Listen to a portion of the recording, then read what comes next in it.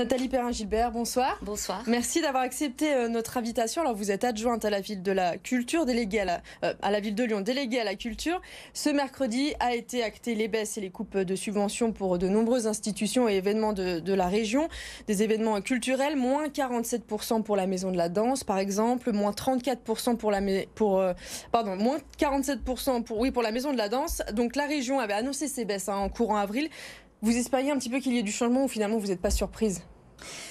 non, je ne suis hélas pas surprise parce que euh, la région euh, euh, est aux abonnés absents aujourd'hui quand on sollicite le, dialogue et la discussion autour de ces baisses annoncées. Et d'ailleurs, je le dis, mais d'autres maires et adjoints à la culture le disent et le secteur culturel le dit aussi parce que ce que j'entends dans l'émotion et dans la tribune ouverte écrite par plus d'une soixantaine de directeurs et directrices de lieux culturels de l'agglomération, mais soutenu aussi par euh, euh, des, équipes nationales. Hein. Il y a un grand mouvement de la culture qui est en train de se, mettre en place pour protester contre ces décisions de la région.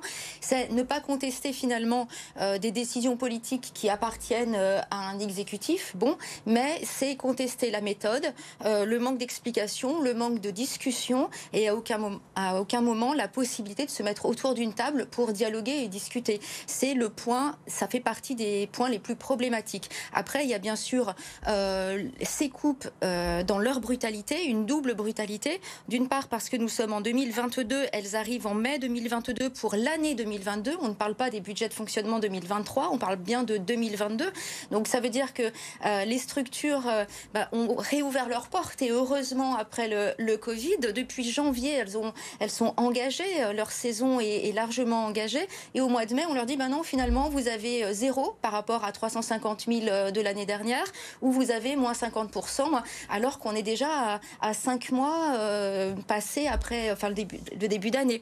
Donc il y a une brutalité sur le moment où ces coupes se passent, et puis il y a une brutalité aussi sur les montants.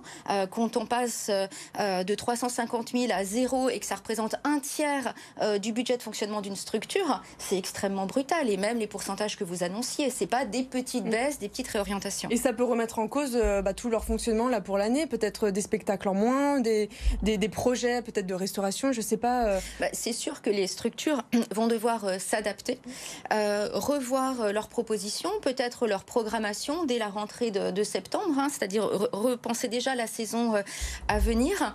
Mais ceci dit, moi je pense qu'il ne faut pas non plus se s'avouer déjà perdant et nous comptons bien avec le maire de Lyon. Il a d'ailleurs commencé dès la nomination du, du nouveau gouvernement solliciter un entretien avec euh, la nouvelle ministre euh, de la Culture. Oui, il a fait et, un tweet lundi, hein, voilà, ça, pour, et demander, demander de l'aide. Et demander euh, à l'État de jouer son rôle et de mettre les collectivités autour de la table euh, pour qu'on puisse être dans ce dialogue-là. D'ailleurs, vous avez eu un, un, retour de cette nouvelle ministre de, de, la Culture? Alors, pas encore, mais je sais qu'elle connaît très bien Lyon, euh, qu'elle est sensible au secteur culturel, au spectacle vivant, et donc j'ai bon espoir que nous arrivions très prochainement à, à, la faire venir à Lyon et, et à discuter de cette question-là. Alors, euh, vous avez également décidé de saisir le préfet oui. euh, hier. Euh, alors, c'est-à-dire, qu'est-ce qu'il qu qu peut faire euh, exactement le, le préfet dans, cette situation? Alors, le préfet, il est chargé, et ses services hein, sont chargés, de euh, s'assurer de la légalité des délibérations qui sont soumises au vote des assemblées. C'est vrai pour euh, le conseil municipal, le conseil de la métropole, le conseil régional.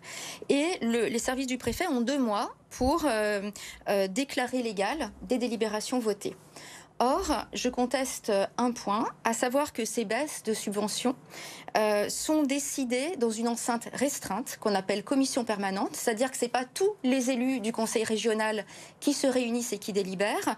Les journalistes ne sont pas euh, présents, euh, le public n'est pas présent, donc c'est un peu un huis clos finalement où quelques-uns décident euh, à la place du conseil euh, dans sa totalité.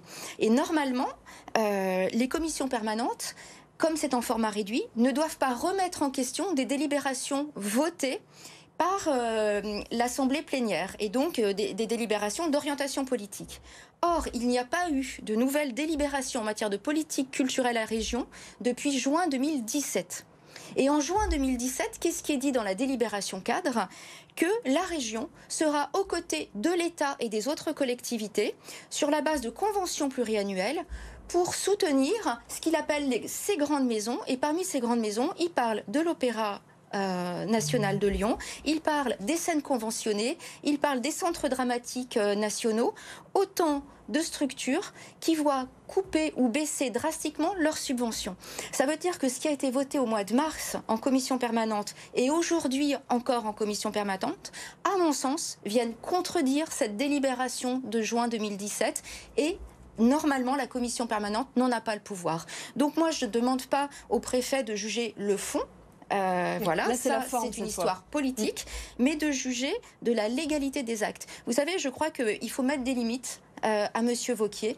Euh, la loi est pour mettre des limites. La loi est un garde-fou et je crois que Monsieur Vauquier a bien besoin de garde-fou aujourd'hui.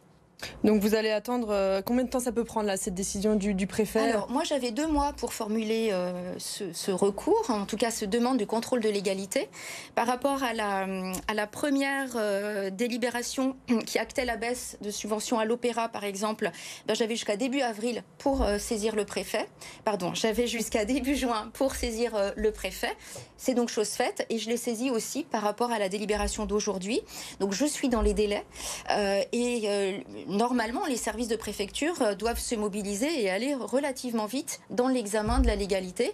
Alors après, soit l'exécutif régional reconnaît euh, qu'il n'est pas dans les clous et du coup la délibération devient caduque il faut euh, revoir les choses. Euh, soit ils s'entêtent et ça peut aller jusqu'au tribunal administratif. Mais en tout cas, moi, je suis déterminée à utiliser la loi, tout simplement, euh, pour défendre le secteur culturel, qui est une politique publique partagée. Quand on écoute la région, il justifie ces baisses de subventions pour certaines structures comme un rééquilibrage. Mm. Donc prendre à certaines structures pour donner à d'autres. Vous entendez, vous, ça Parce que ça, peut se comprendre aussi pour que tout le monde ait un petit peu. C'est-à-dire qu'on ne le voit pas. Mm. C'est-à-dire que M. Vauquier un peu le roi du détour de passe-passe. Et en fait, pour l'instant, il a pris 4 millions d'euros à la culture sur un budget de 41 millions, parce que quand il dit 61 millions, c'est faux, parce qu'il il mélange l'investissement, le fonctionnement, etc. Dans la réalité des faits, c'est 41 millions d'euros, euh, le budget consacré par la, par la région à la culture. Il a enlevé 4 millions, là, en deux séances, ça veut dire moins 10% de, de son budget. Et par contre, les réorientations, on les voit pas. Donc les 4 millions qu'il a pris au secteur culturel, 2 millions et demi euh, du secteur culturel de la métropole de Lyon, où va-t-il les mettre? On ne le sait pas.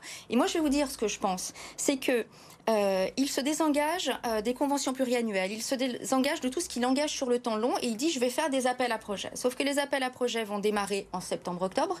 Le temps que les structures répondent, le temps que ce soit instruit, etc., il n'y aura pas de vote avant 2023. Résultat des courses, il a économisé sur son budget 2022 4 millions d'euros sur le dos de la culture, sachant que la région est en crise de liquidité aujourd'hui, je le dis. On a des subventions de 2021 votés par la région en 2021 qui n'ont toujours pas été versés. Donc pour moi, la région est en situation de crise financière et pour masquer cette mauvaise gestion, eh bien, euh, il essaye d'économiser euh, ça et là, de gagner quelques mois. C'est ça la réalité. Et vous craignez du coup euh, que la diversité culturelle soit en danger finalement? Mais Bien sûr, parce qu'on a un resserrement. Et puis il y a aussi une vision très néolibérale, c'est-à-dire que M. Vauquier n'est pas sensible aux politiques publiques, il est sensible aux activités lucratives, aux activités privées. Et d'ailleurs, c'est pour ça qu'il va financer à hauteur de 500 000 euros. Là, il trouve de l'argent. Euh, le festival euh, organisé au stade euh, du Loup, co-organisé par GL Evans, c'est une filiale de Vivendi. Là, il trouve de l'argent Donc, il choisit un petit peu ce qu'il veut, selon vous. Ok. En tout cas, il n'est pas sensible aux politiques publiques. Très bien. Merci beaucoup, Nathalie Perrin-Gilbert, d'avoir été notre invitée ce soir sur BFM Lyon.